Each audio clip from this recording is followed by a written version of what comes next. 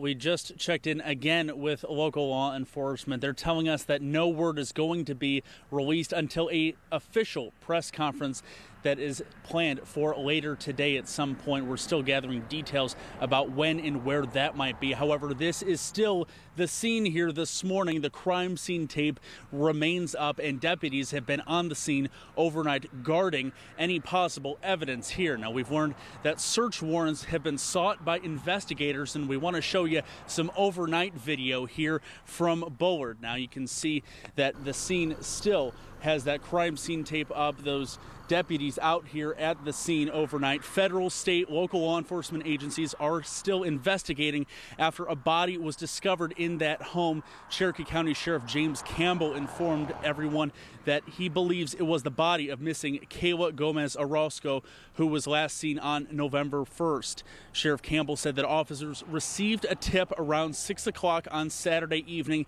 that led them to the discovery, and he says Kayla's family has also been notified. Now, we're in the 22,000 block of Old Jacksonville Highway in Bullard. A search warrant was sought by investigators for this property. We're still hearing some information from officials. They are continuing their investigation. A lot more details coming in this morning and a lot more questions that we are seeking answers to as the case continues to play out. Of course, we're waiting to learn more about that press conference, and we'll have all of those details online and on TV.